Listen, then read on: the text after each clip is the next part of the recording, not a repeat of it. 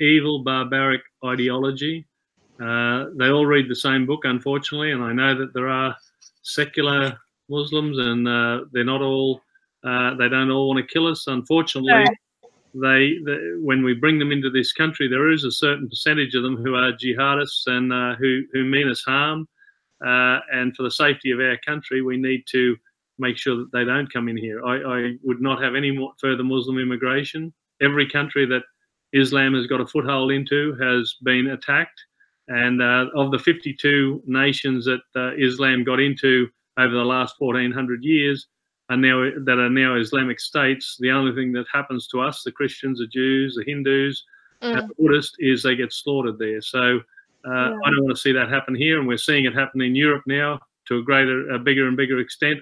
Mm. Uh, I'm sure most Australians don't want to see their their country go down the same road that some of those European countries do, and uh, that's why I would say stop Muslim immigration. There are plenty of places that they can go if they want to go to, especially other Muslim countries where you know their their ideals are all the same.